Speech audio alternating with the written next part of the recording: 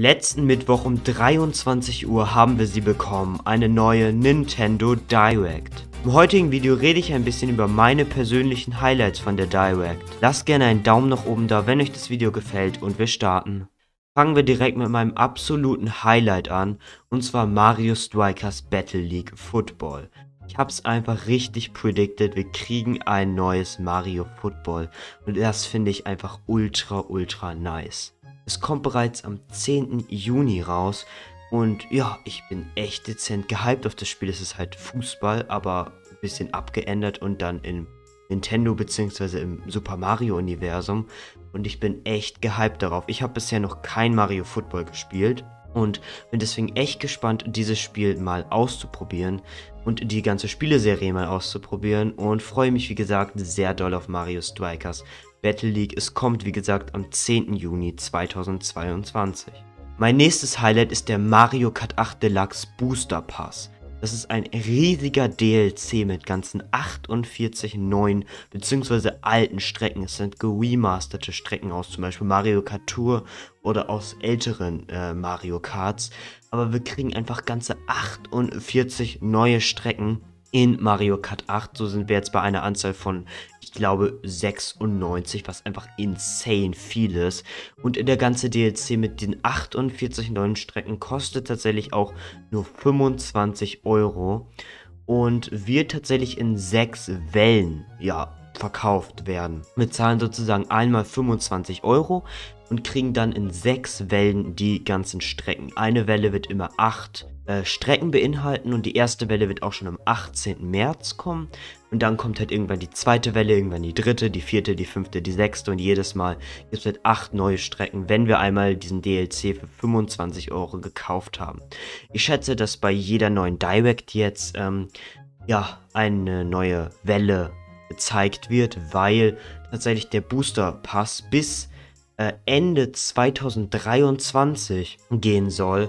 Und deswegen schätze ich, wie gesagt, dass wir jetzt bei jeder Direct eine Welle sehen. Bei dieser haben wir jetzt ja ähm, die erste gesehen, im Sommer dann wahrscheinlich die zweite und im September die dritte. Und nächstes Jahr genau nochmal so Februar, Sommer und dann äh, September. Und ich schätze, dass wir, wie gesagt, jetzt in jeder Direct eine Welle sehen werden. Und dann bis Ende 2023 ungefähr alle vier Monate acht neue Strecken bekommen, was ich einfach ultra cool finde. Was auch wieder ein bisschen Langzeitmotivation für Mario Kart gibt. Ich freue mich, wie gesagt, auf den DLC und auf die insgesamt 48 Strecken. Als nächstes haben wir noch weitere Trailer zu Kirby in the Forgotten Land und Splatoon 3 bekommen. Und ja, ich fange jetzt mal mit Kirby in the Forgotten Land an. Dort haben wir, wie gesagt, einen neuen Trailer gesehen und da auch erfahren, dass Kirby jetzt auch Gegenstände, ich sag jetzt mal, kapern kann. Er saugt die auf und dann ist er diese Gegenstände. Ich zeige euch hier zum Beispiel jetzt einmal, das blende ich jetzt ein, wie Kirby zum Beispiel ein Auto ja aufsaugt und damit diesen fahren kann. Finde ich auf jeden Fall auch ein richtig nices Feature. Und das Spiel kommt, wie bereits auch ja schon gesagt oder schon angekündigt von Nintendo, am 15.03.2022. Dauert also echt nicht mehr lange. Zu Splatoon 3 haben wir ebenfalls einen neuen Trailer bekommen und zwar zum Salmon Run. Das wird ein neuer Modus in Splatoon 3 und ich freue mich auch echt auf Splatoon 3, muss ich sagen. Dieses Spiel wird im Sommer 2022 erscheinen. Es ist noch nicht genau bekannt, wann es erscheint. Ich rechne mit Juli oder August, weil wir im Juni ja schon Mario Strikers Battle League bekommen.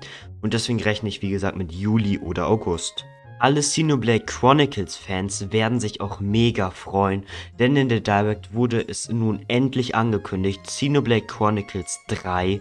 Ich kannte diese Spielereihe noch nicht so, also ich habe noch kein Spiel von denen gespielt, möchte die Serie aber auch mal mit dem dritten Teil austesten und dieses kommt bereits im September.